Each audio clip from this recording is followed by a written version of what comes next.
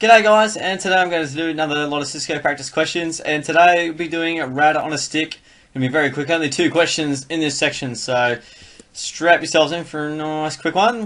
Uh, for our 6, which of the following statements are true in order to get traffic to route between the two VLANs in the figure below? Select 2.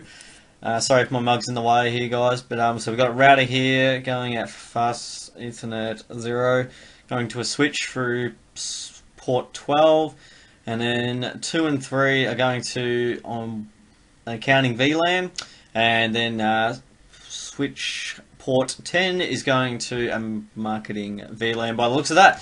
So what we going to do? Nothing. Uh, configure port 12 on switch 1 for trunk mode. configure uh, F00 on R1 for trunk mode. Configure sub interfaces on switch 1. Configure sub interface on router 1. So the being the router on the stick, you first of all need to. It's obviously router one going into the switch on port 12. So there has to be some kind of communication there in order to at least get this set up. So we've got to incorporate a bit of B. Uh, configure F012 on switch 1 for trunk mode. And then it comes down to these two guys here.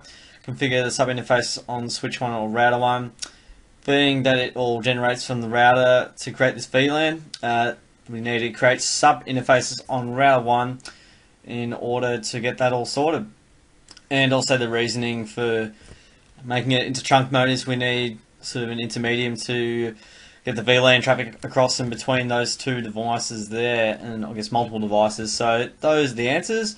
And the last one, 307, you are configuring a router on a stick so the router will route traffic between VLAN 10 and VLAN 20. Similar to before, you configure the sub interfaces with the following commands. During testing, you notice that the router is not routing between the VLANs. What is missing? So we got the interface and the sub interface there, which looks right. Got the IP address subnet mask, it looks fine. And then we got uh, point one, point ten as the next interface, and that all looks fine there.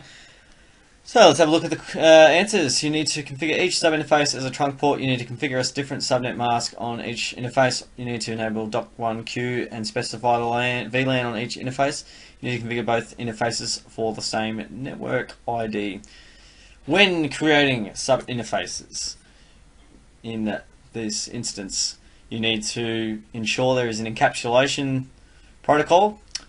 And we've got one protocol here, dot1Q. So the answer here is C. You need to enable .1q and specify the VLAN on each interface. And that is that one. Need to specify encapsulation there. Thanks for watching guys, really appreciate it. Very quick video today. Got my website there, onlinecomputercoaching.com. Check it out if you want to see plenty of free video content and so forth. Um, don't forget to subscribe away, that'd be great as well guys. And also private internet access of I use their VPN and uh, it's a really awesome service. So I thought I'd uh, shout it out to you guys. I've got the link in the description if you can on that.